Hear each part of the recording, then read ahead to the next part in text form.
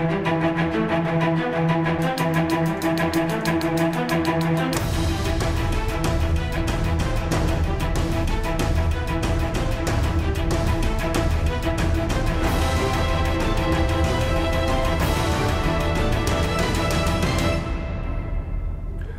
Вітаю з вами Шах і Мат. Мене звати Андрій Нікітін. Сьогодні ми поговоримо про повернення учасників бойових дій на Донбасі до мирного життя. З нами заступник директора департаменту соціальної політики Дніпровської міської ради Юлія Дмитрова. Пані Юлія, я вас вітаю. Вітаю. Власне, перше питання. Ви, зокрема, у департаменті опікуєтесь учасниками АТО. Е, Все, наскільки я знаю, почалося у 2014 році з волонтерської діяльності. Як це власне було? Так, почалося в 14-му, але почалося не з військових, а почалося з переселенців вимушених, а саме з рожениць. Е, В травні місяці у пологовому будинку на космічній був е, такий аврал людей, які пок- пок- покидали свої домівки, щоб народити у мирній обстановці. Тому я почала е, саме їм допомагати. Два місяці я опікувалась саме їм ними, а потім я познайомилася з волонтерським рухом, які а, опікувалися військовими, формувались бат- батальйони, формувалися доброволь... добровольчі батальйони Збройних сил України. І почалась так моя діяльність. Е, Ну, власне, конкретно чим ви доп- допомагали, як це було? Ми організували чати, підключили своїх знайомих, е, відкрили рахунки, е, окремі картки в Приватбанку, і тільки туди ми збирали кошти на всі потреби. Це була був і одяг, і амуніція, і продукти харчування. Ну, тобто, все, все, все, вп- вплоть до е, ніж- нижньої біли- білизни. Доброба Добробатам як допомагали? Це вже я так розумію, літо 2014 року. Це літо 2014 року ми почали допомагати 74-му розвідбату спочатку. Повністю ну, повністю все. Там нічого взагалі не було. Це було це були а, нові люди в армії, які не у яких у більшості є з яких не було досвіду. Ми а, до, долучали а, фахівців, які їх тренували. Ми збирали спеціалізовані е, по американському стандарту їм аптечки, ну і все інше. Потім почався е, почав формуватися в серпні 14-го 43-й е, окремий зараз е, батальйон. А тоді він був е, теробороною. І ось так поступово ми почали накопичувати у під свою під свою опіку бригади, батальйони, добровольчі бати. Ну тобто, всі, всі, хто потребував допомоги. А з чим в першу чергу звертались до вас?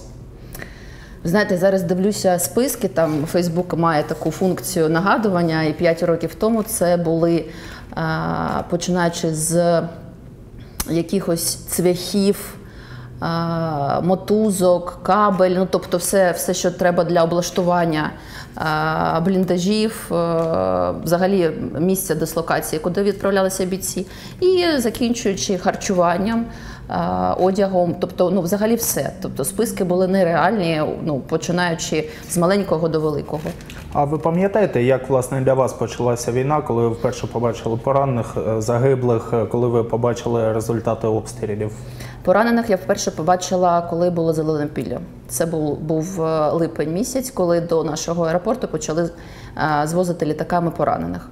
От тоді е, Юрій Мосягін почав займатися, розвернув там волонтерський центр. Я перший, хто приїхав на допомогу, і з цього от, це, це з цього почалося. Але тоді не було так, такого от уявлення масштабу взагалі ну, війни.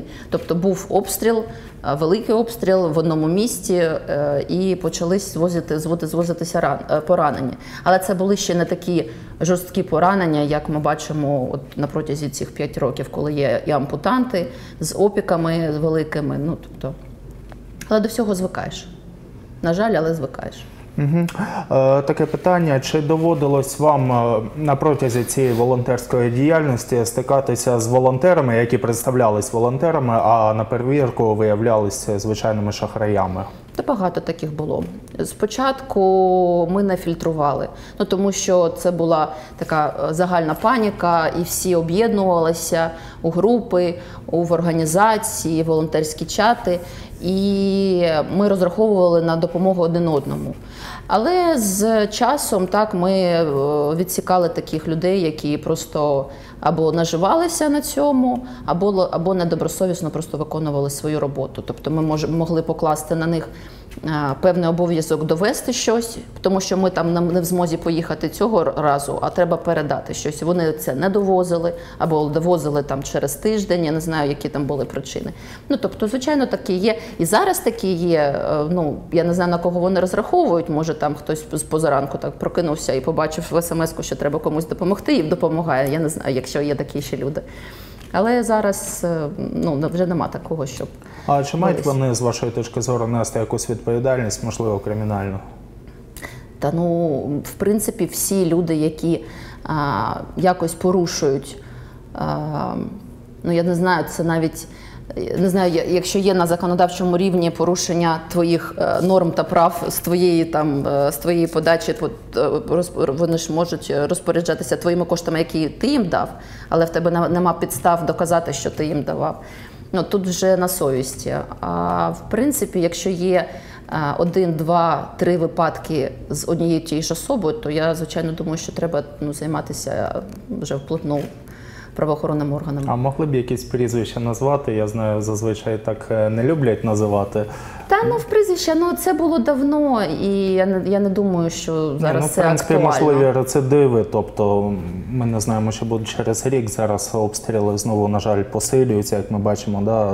Майже кожен день є загиблі. Ну, в нас на за- зараз е, маю вам сказати, що ситуація краща ніж була в 14-му, 15-му, навіть так. 16-му, і вже не збираються такі там великі кошти.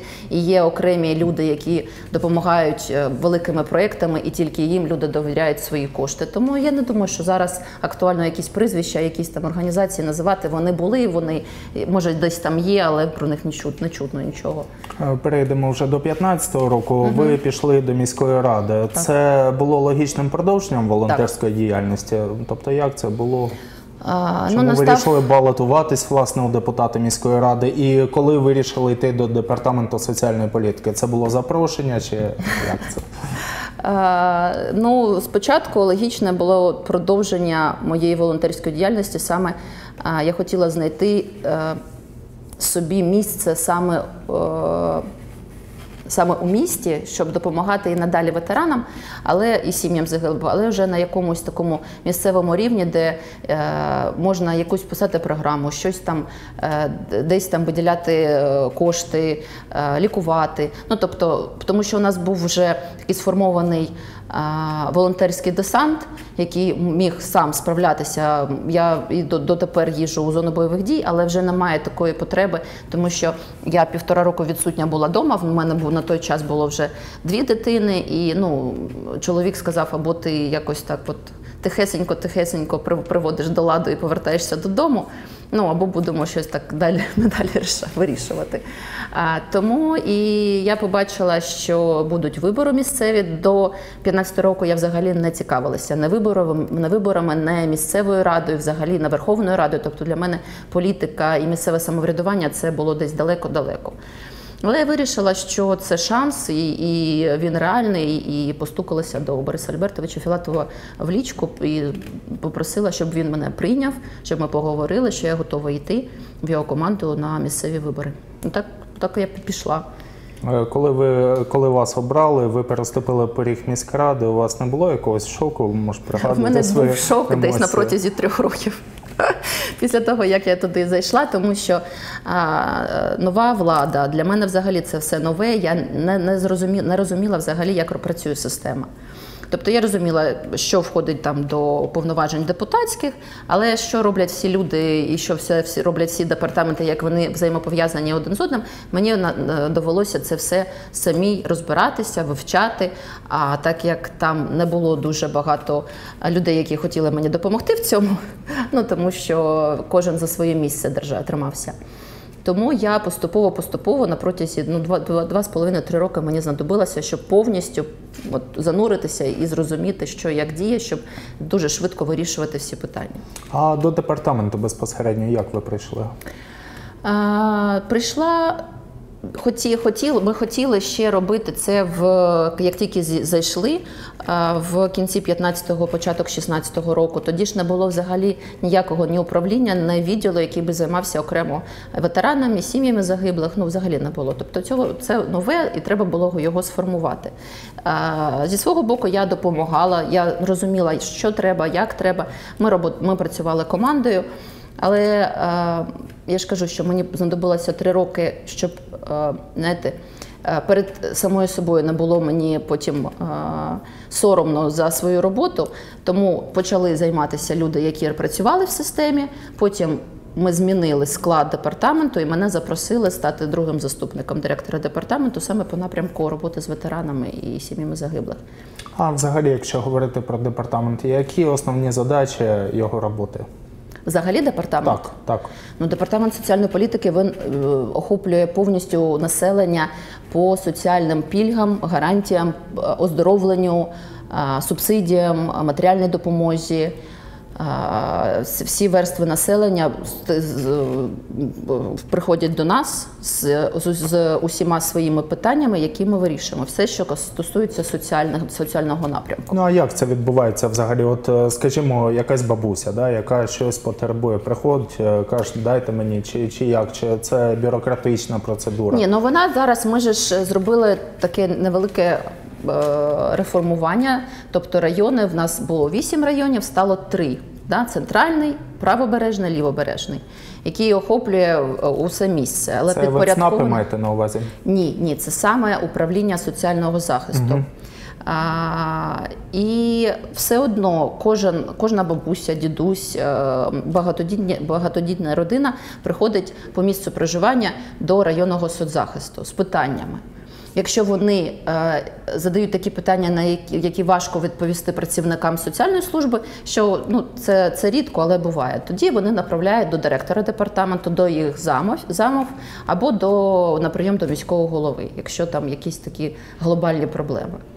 Ну, з якими до вас приходять питання? Ми, скажімо, зараз е, ми учасників АТО не беремо. Чи приходять інші люди, скажімо, до вас? Е, Чи ви займаєтесь виключно е, цим напрямком діяльності? Ні, приходять звичайно, тому що є таке поняття, як відпустка у директора, у, у другого зама, і становлю я становлюсь там виконуючим обов'язки директора департаменту. Звичайно, ми розбираємося зі з усіма, хто приходить.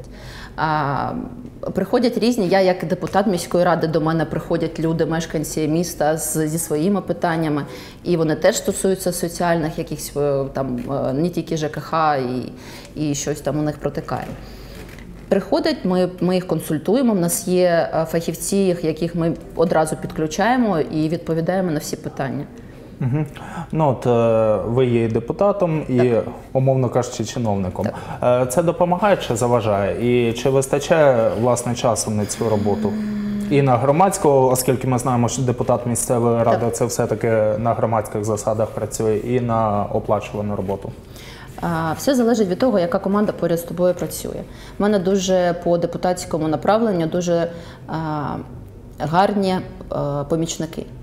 Вони беруть на себе прийоми, коли я не можу. Вони керують повністю всім документообігом по розподілу коштів на депутатські звернення. Тобто, в принципі, ну часу взагалі не вистачає, навіть якщо б я не була депутатом, а тільки чиновником.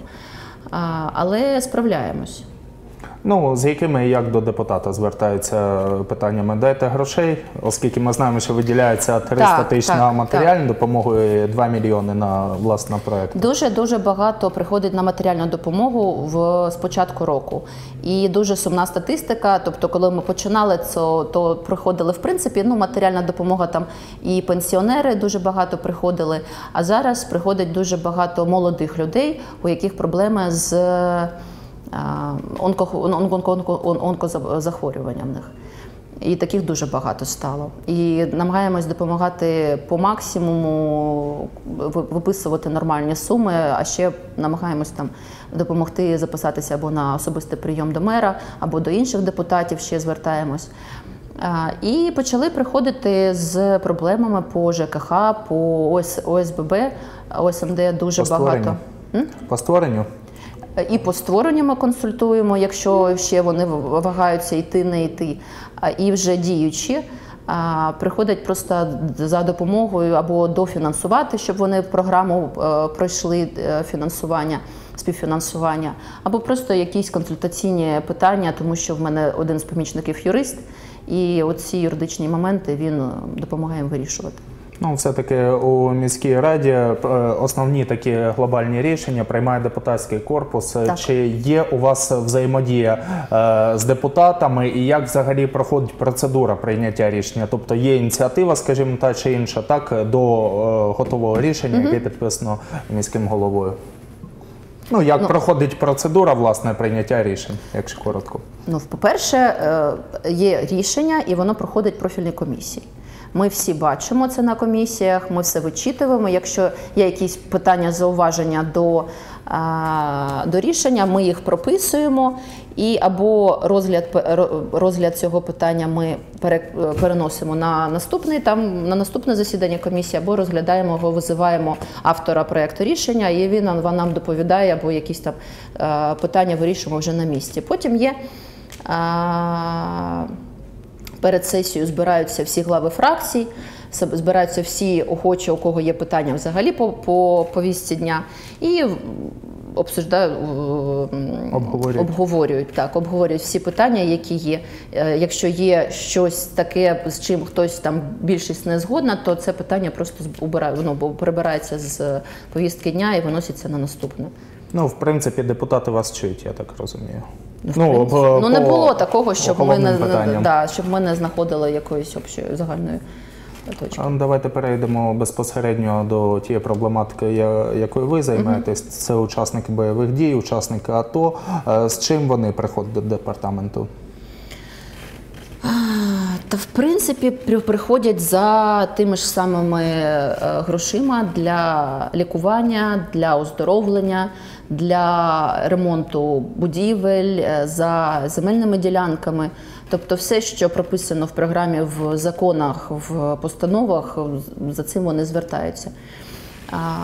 В принципі, наша програма Родина героя вона діє е, на інвалідів першої, другої, третьої групи ветеранів, на сім'ї загиблих, на дітей учасників бойових дій.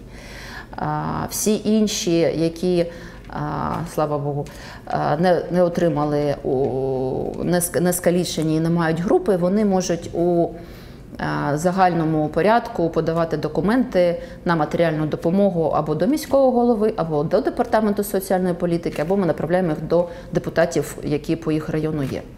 А можете докладно розказати про програму цю Родина героя? Так, родина героя в нас на, на, на цього року складає 32 мільйони гривень. Ми охоплюємо по виплачуємо по, по лікуванню і придбанню ліків. У нас є створена комісія, яка розглядає кожен пакет документів е, ветеранів. І є градація для е, першої групи, для другої групи, для третьої групи по сумам. Тобто це максимум 15 тисяч, мінімум 6 тисяч гривень отримують раз на рік, отримують інваліди. Сім'ї загиблих отримують по 10 тисяч раз на рік теж на лікування та придбання ліків. Потім вони і ветерани, всі, всі ветерани, не тільки категорія інваліди, отримують компенсацію на житлово-комунальні послуги. Це 75% компенсує нам держава, 25% доплачує місто. Там величезна, в принципі, сума, вона десь там порядка 19 мільйонів складає з цього бюджету на рік. Потім до святкових е, е, заходів до 1 вересня, до Дня захисту дітей, до Дня захисника вітчизни вони теж отримують, діти отримують подарунки, а інваліди у нас е, першої, другої, третьої групи та сім'ї загиблих отримують матеріальну допомогу ну, в ці дні, в ці, в ці, в ці свята. В пам'ятні е, в пам'ятні дати цього року ми ввели теж матеріальне заохочення, тому що ну, в принципі ми на Іл-76, на Іловайськ, на аеропорт, на Шахтарськ ми завжди проводимо зараз на алеї героїв, панихиди. Тобто цього достатньо. 5 років. Да, П'ять тобто років цього, це, цього достатньо. Я вважаю, що краще ми будемо матеріально заохочувати сім'ї такі, аніж ми будемо щось там роздруковувати, якісь почесні грамоти чи що, щось таке. Вже нікому не потрібно на, сам, на ділі.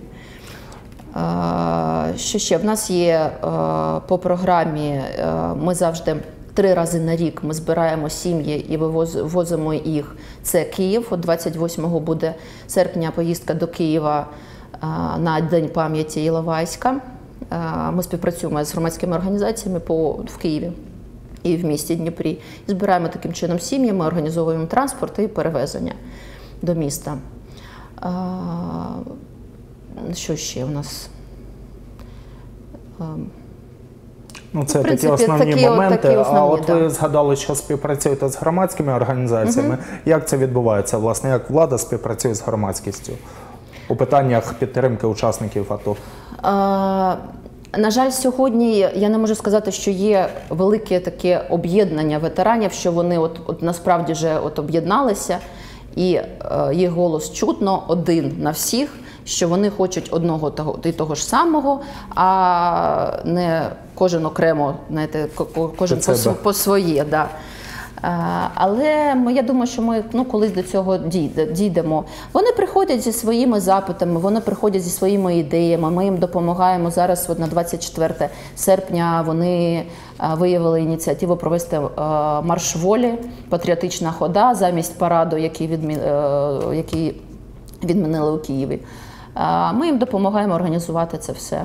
Тобто від, від, від них ідеї, від нас організація. Тобто у нас у Дніпрі буде. Так, 24 А серпня. як це буде, може більш докладно розкажете? Що саме, звідки? А, В куди? п'ятницю буде прес-конференція саме з активістами, які пропон- запропонували цей марш. Я думаю, що вони більш детально це розпов- будуть розповідати.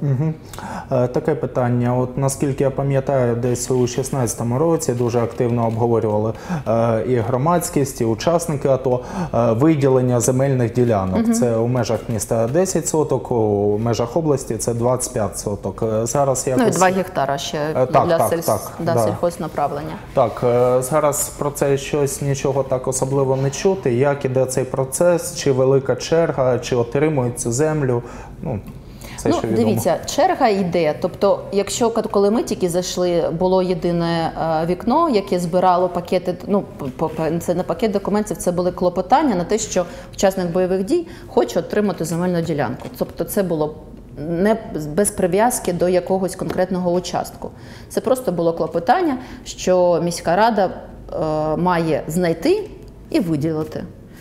Ну, як показала, показує практика, це не працює, тому що е, ну, насправді в Дніпрі, щоб задовільнити всіх, ну немає так, такої можливості. Ми е, намагаємося допомагати. Ми направляємо в головне архітектурне управління. Там є е, е, карта де, ми бачимо, які участки є вільні, які не вільні, які там під питанням. Вони йдуть туди. Учасникам бойових дій там приділяють увагу, вони обирають, якщо їм підходить там участок, і приходять вже до департаменту активів і заповнюють клопотання на фактичну ділянку земельну і здають документи. Тобто, оце, оце отак от діє. А скільки взагалі часу може пройти від того моменту, як людина виявила ініціативу отримати цю ділянку до власне входження у власність, скажімо так, Ну, півроку. півроку? Тобто ми маємо розуміти, що ми маємо пройти дві сесії. Перша сесія вона дає нам право на розробку проєкту землеустрою. Розробляється проєкт, подається на другу сесію. Друга сесія розглядає і виносить вже йому як право власності на земельну ділянку. Ну це я так кажу взагалі десь півроку. Може воно і швидше. Якщо е, є конкретний учасник бойових дій, він приходить, каже: ось я здав документи, де вони? Тоді я беру і з активами працюємо. Де цей документ? Ми можемо його витягнути, ми можемо його ну, швидше е, запускати, якщо є як в цьому потреба. Але в принципі ну, нема ніяких затримок саме по учасниках бойових дій. Вони дуже швидко проходять все. От е, я згадую свій досвід у 2014-2015 році. Досить е, багато е, доводилось спілкуватись з пораненими, які говорили, ми вже не бачимо мирного неба. Ну тоді дійсно були страшні бої. Це і ДАПи, і Іловайський, і Дебальцево і інші. Е, які заходи проводяться щодо соціалізації учасників бойових дій? Оце проблема насамперед, тому що на місцевому рівні ми, е, окрім надання матеріальної допомоги та проведення яких заходів, мало що можемо, тому що ніякого бюджету саме місцевого не е, достатньо, і це не вихід для соціалізації. Тобто, якщо брати там міжнародний досвід, е, брати теж е, ті ж Сполучені Штати Америки, які вже досить давно воюють, але воюють на теренах інших держав, то в них є система, це уніфікована система насамперед по лікуванню. І лікування і медичні заклади фінансуються тільки з держбюджету, щоб у нас не було, знаєте, як у нас одна лікарня фінансується за держбюджет, а інші допомагають ще благодійні фонди. І там краще забезпечення. А тут ну таке собі, хоча вони займаються одним і тим самим. Тому уніфікована система саме по наданню е, медичного. Психологічного. психологічного треба, щоб воно було на рівні держави дуже добре профінансовано і зроблена система, тому що. е, Ну, є в нас е, госпіталь, у нас є госпіталь ветеранів на території е, лікарні Мечникова. Ми туди, туди направляємо і на психологічну реабілітацію, і просто полікуватися саме пораненим.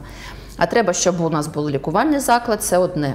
Інше це з посттравматичним синдромом потрібні інші спеціалізовані е, заклади, які будуть займатися, тому що вилікувати людину, яка з пораненням, і е, пройти курс реабілітації тим, хто страждає ПТСРом, це різні, ну трішечки різні речі. А в нас ПТСР значно перевищує ніж, е, ніж поранені люди, поранені ветерани. Тому е, це більш питання на державному рівні. Я, я сподіваюся, що армія продовжить е, розвиток свій і будуть достатньо фінансуватися як е, Міністерство оборони, е, так і держава буде виділяти саме на повернення бійців з фронту в нормальне життя, тому що вони спроможні, вони можуть, вони здатні працювати, але їм потрібно для цього дати ну, фундамент. Їх треба підтримувати, е, не тільки їм співчувати, що ти молодець, ти пройшов, от давай тебе пожалію, ну ти, ти класний чувак. А саме зробити уніфіковану систему, яка буде займатися лікуванням, е, реабілітацією психологічної ПТСР. І це вже третя ланка, яку, якою займаємося ми, це матеріальне заохочення, яке теж може розраховувати, ну може, може називатися соціальною підтримкою, е, соціалізацією, але це не, не головне, коли вони повертаються. Що ж, я вам дякую за цю розмову. Нагадаю, сьогодні ми спілкувалися з заступником директора департаменту соціального захисту Дніпровської міської ради Юлією Дмитровою. На все добре.